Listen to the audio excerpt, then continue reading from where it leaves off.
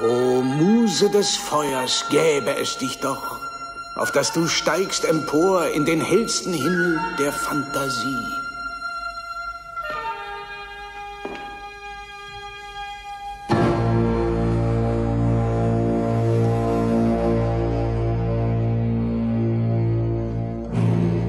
Man will die Verordnung jetzt gegen uns betreiben, die man im elften Jahr der Regierung des verstorbenen Königs fast gegen uns durchgesetzt hat. Doch sagt, Milord, wie wehrt man sie nun von uns ab?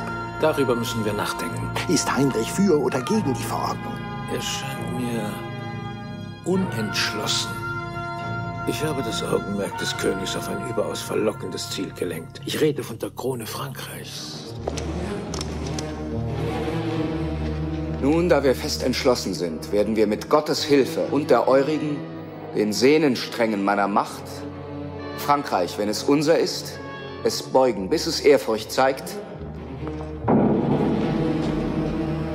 oder brechen, bis es ganz in Stücke geht. Die Franken, gewarnt von dieser Schreckensrüstung durch gute Kundschaft, sind voller Furcht. Und so sind sie aus Angst versucht, mit verderbter Intrige England von seinen Zwecken abzulenken. Ihr habt die Gnade, die eben noch in uns gelebt, durch eure Empfehlungen umgebracht und erdrückt.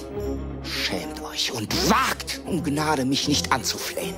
Denn nun fallen eure Gründe auf euch zurück, wie Hunde, die den eigenen Herrn zerfleischen. Was ist eure Antwort? Überlegt sie gut und schnell! Wollt ihr dies vermeiden?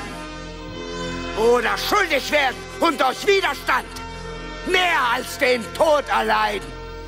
Der Dauphin, um dessen Hilfe wir ersucht, hat uns erwidert, seine Streitkräfte seien noch nicht in der Lage, eine so große Belagerung aufzuheben. Darum, großer König, reitet durch unsere Tore ein, verfügt über uns und die unseren. Denn wir sind nicht länger verteidigungsfähig.